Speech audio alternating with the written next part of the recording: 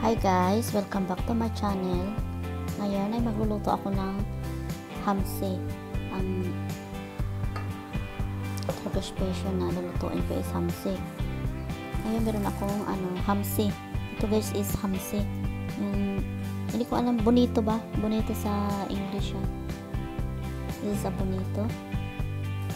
Lalagyan natin siya ng ano, na ano na natin siya, nalinisan. Ayan na. Lalagyan natin sa ng uh, corn powder. Yung ik masir masirono ang tawag. Ganyan lalagyan natin yan ganyan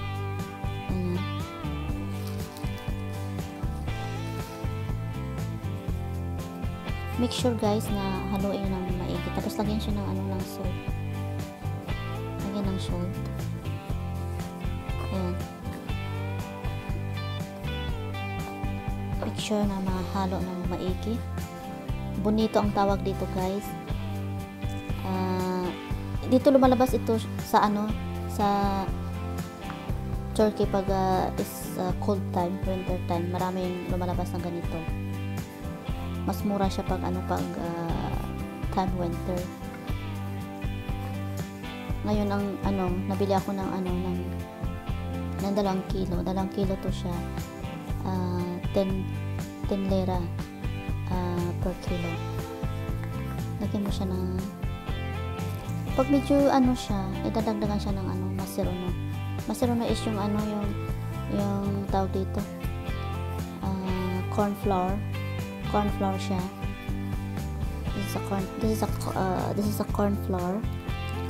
Yan, yan ang ginagamit namin dito pag nagluluto kami ng mga fish. Any kind of fish, yan ang ginagamit ko siya. Para hindi siya uh, maging sticky sa ano sa pan at at crispy din siya toasted Lagyan siya ng asin this is salt. Put a little salt. Okay na siya. Lagyan siya.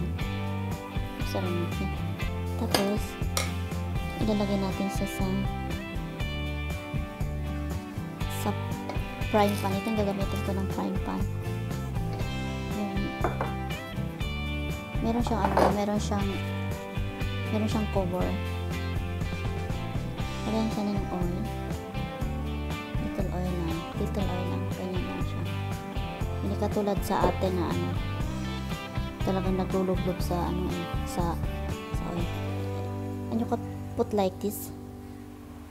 Like this is ano lang siya salansan lang siya ng maayos. Ganyan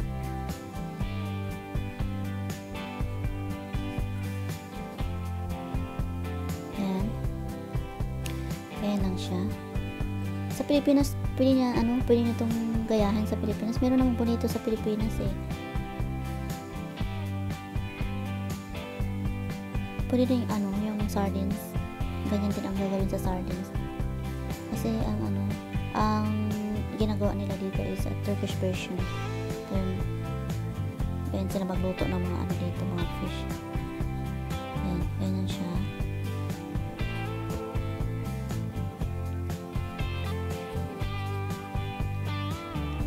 Is my uh, uh, lunch today and then I make uh, a salad. This is a green salad I made it today. Malamig na dito guys. Tingnan nyo naman naka ano na ako.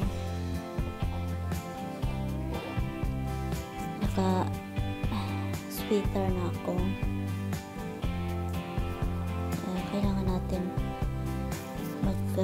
magsuot ng sweater if uh, uh, cold time. Malapit na rin ang snowy dito. Nako guys pag snowy dito. So ano napaka kapal ng snow.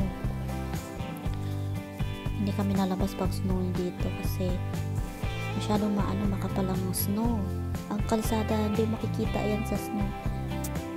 Sobrang kapal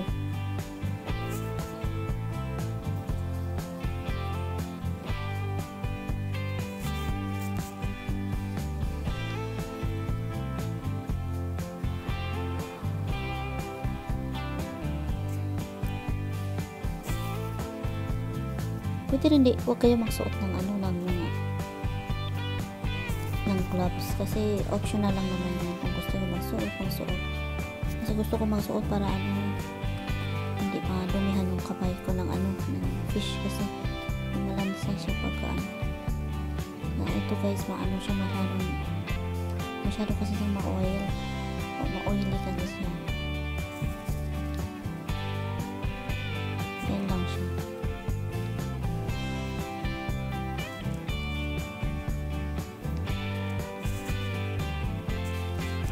Ang ulan dito, ano, kagabi, mula pa kahapon ng ano, ulan.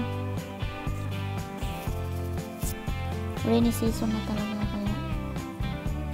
Ngayon nag ano, nag-araw, nag-ano na siya, nag-araw-araw na siya konti. Ayan. Ayan siya. Medyo eh, ano-ano lang eh, dikit-dikit lang kaya.